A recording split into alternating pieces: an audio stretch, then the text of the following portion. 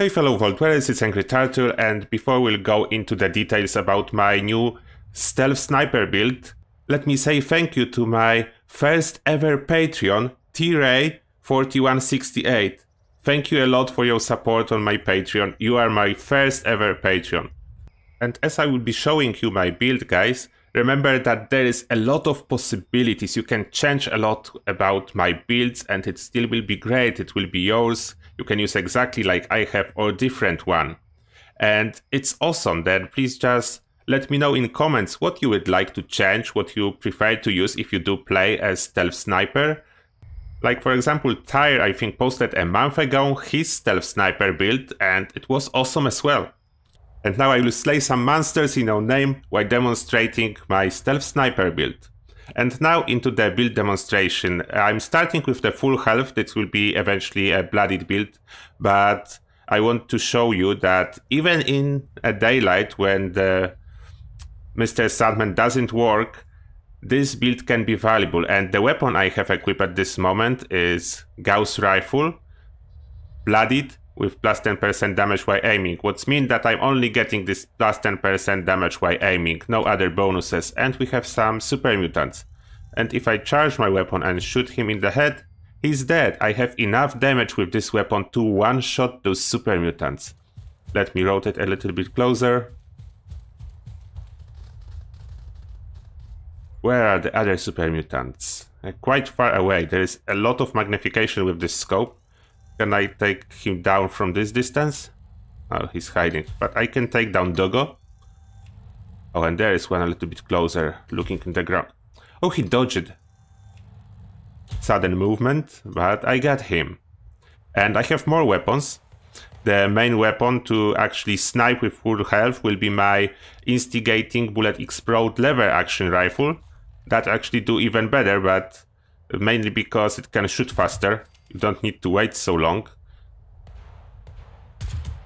And obviously instigating is very useful if you play full health. Other option, as you probably notice, I have a lot of addictions. I have with me this Junkies the Fixer just to demonstrate to you that you can actually use this build with multiple weapons and to be absolutely honest, it's much more satisfying than I expected it to be. I wasn't expecting this to build to be so satisfying to play. The sniping is actually fun with this. I will show you all the details after I will finish my demonstration in action. And this weapon, the Junkie, still can one-shoot. In a torso, you need more than one shot, but if you get a headshot with 2.5 times sneak multiplier and you stack some adrenaline, then it pretty much can one-shot. And plus of this weapon, it shoots really fast. And about my armor, uh, when I play full health, I have almost no bonuses from this because it's all leather and unyielding. Unyielding is my main focus on armor. The other uh, bonuses are whatever was available. And my focus was to get full set of leather with unyielding. Then some are sentinels, some are Cavalry, some are junk weight reduction. There is not a single piece with harder to detect while sneaking, unfortunately, at this moment. I'm still hunting to replace one with harder to detect while sneaking, but I'm looking only for unyielding leather. About my under armor, if we are on this topic, it's shielded leathers, especially for this agility perception bonus. And I'm still wearing the tattered dress just because it's giving plus one perception like Sinister Hand was joking once, I'm the person that will wear a pink unicorns if this will have the highest bonus. Uh, something is in that, I don't know. I, this one perception and nothing else gives actually bonuses and I, I'm so tempted by that to actually use it. And as you can see, even without unyielding bonuses, I'm doing quite well and they cannot really detect me straight away and as usually they die pretty fast, they have no chance to detect me. They can only blindly, blindly fire towards me.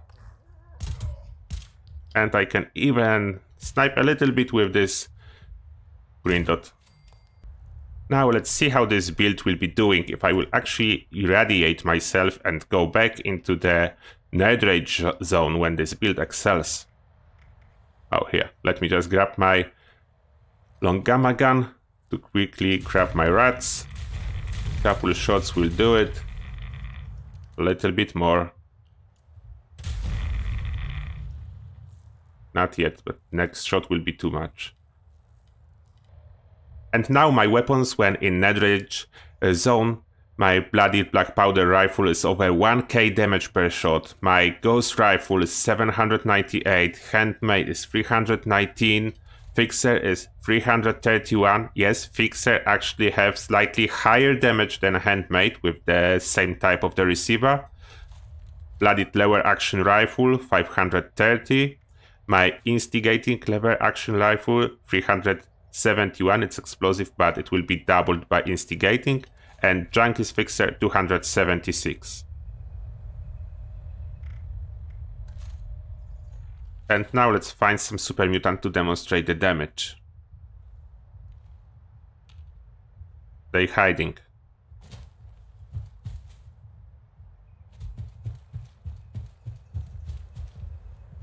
They already know that my damage is high. Oh, this is too much of the magnification, but Oh, and I missed. Yeah, it's too much of the magnification. Even without charging. It's 3k damage, no charging. Now let's see if I charge the weapon. Oh, 3k damage as well. He was probably outside of the weapon range then. As it should be much more when weapon is charged.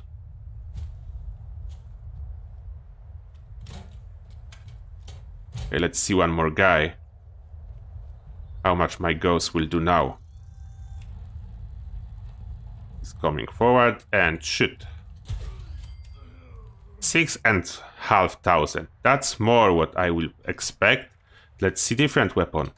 How much can do handmade? If I can hit two and half K. That's pretty crazy. Bloodied lever action rifle. The ghouls starting the party. I can do over 2k even on the torso hit. Okay, this lever action rifle is actually with uh, extra critical damage, and I have it modded with Ultracite ammo.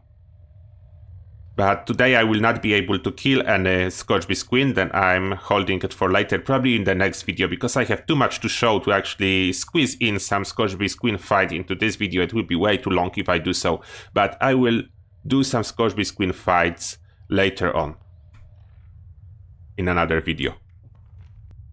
Now let's test those toys on some Scorch and Scorchbeast, the regular ones. Okay, I equip Concentrated Fire for this party. They were Scorch hiding. I can snipe them from afar, and I actually usually prefer the long scope over the microwave scope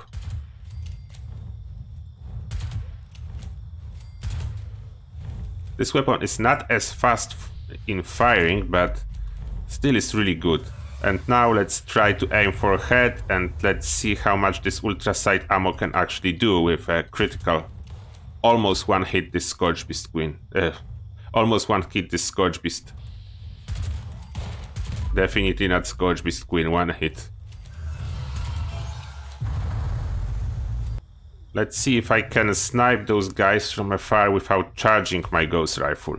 Yes, you can see, they're weak enough that Gauss rifle with this build can one-shot them without any charging, what makes my Gauss rifle shooting quite fast and they are outside of the weapon range. Still enough damage to one-shot them. That's perfect. Where are you running? Where, where do you think we're going? And I lost him. Okay, can I get the Scorch Beast attention? I think I need to hit her.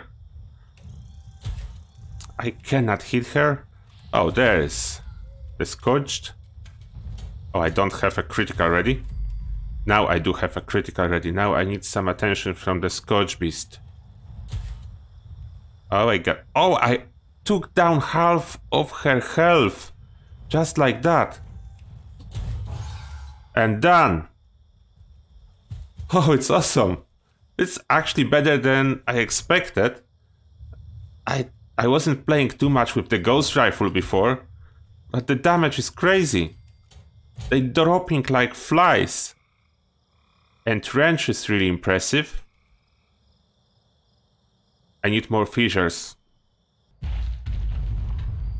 Oh, and there is a legendary Scorch Beast. That's perfect. That let me just stack my adrenaline and maybe somehow I will gather her attention and I will able to see if I can one-shot her. I have my critical ready. Doing pretty crazy damage, but how to attract her without doing damage to her? I will shoot nearby. Oh, some guys are coming. Yeah, the AP cost is much higher than in case of commando build. Let's gently shoot her somehow. Hit her. Keep firing doesn't work too well. Okay, how much damage? Not too much. Uh, I will try to do a little bit more to get her into the regen zone. Okay, now she's regenerating and let's try if I can one hit crit. Almost so close to actually one hit crit legendary Scorch Beast almost one hit. That's pretty crazy. If I will take any damage buff, I will probably be able to just one hit. And that's it. Legendary Scorch Beast, I should be able to one hit with Gauss. Then I can charge and shoot. One shot, level 50 Scorch Beast, one shot. Okay, we have another legendary Scorch Beast, and now let's do the test with this beauty. This Junk is the fixer that is actually modded for semi-auto and possibly low uh, AP cost when firing. The accuracy is slightly, slightly lower than normal sniper weapons, but still very good with amount of perception I do have. And let's see now how... Oh wow, that's insane. And I did, didn't even burn AP at all, just a little bit of usage. Oh, that's pretty crazy. Another Fissure as we have more weapons to go for. Like at this moment, let's go for Bloodied the Fixer, and this one is set up as a sniper weapon. As you can see, it is with a scope, and in this case, it's the short scope. It's generally my favorite. I do like it's exactly as much range as you need. It's perfect crosshair and it's very stable scope. Plus it's easy to follow the target because the magnification is just good enough. Not too much, not too low. I really like it. Like in case of everything else, I'm getting way too much of the magnification. And still the hit chance is very good. Long scope helps, that for sure and the Scorch Beast don't want to come closer, then let's invite her and let's see how well you can do with the headshots. Oh, the VATS, really? Like I missed with the critical. That was surprising, but after that it was couple shots and I got her down. Like from the latest patch, I noticed that sometimes when I do a VATS critical, my weapon tends to miss for whatever reason. Like VATS critical shouldn't be missing ever and it is. Okay, that was a damage so showcase with different weapons, and as I said before, I will do the same thing with Scorch Beast Queen. I mean, maybe not all the weapons, but I will kill a Scorch Beast Queen with this build and I will upload a movie, but it will be probably somewhere next week, maybe Monday if everything will go as planned. And this black powder rifle, I didn't notice that I ran out of 50 caliber ball. But the main reason I have this is was to one shot Scorch Beast with a critical in VATS. It usually breaks my stealth because there is no way to put suppressor on it, but still it's very satisfying to get this one shot on Scorch Beast and take her down, just like that. Now about my armor. Oh, what I didn't show you yet uh, why only three pieces ultra light? As you know, on my stealth commando, I had all pieces ultra light. Then in this case, I have stabilize. What it does, I will show you. I will unequip the left arm and right arm. And now when I'm aiming, you see how how this is all going up, down, left and right. If I press Alt, it will stop. But as you notice, it takes like one second to stabilize. Now if I will just put one piece back on, it's already barely moving. If I put two arm pieces with stabilized, it's perfectly stable. It's not moving at all. If I do not move my mouse, my aim will not move. That is that is awesome mod for a sniper build. Now my mutations. At this moment still suppressed because I replaced one mutation what meant I use all the serums again.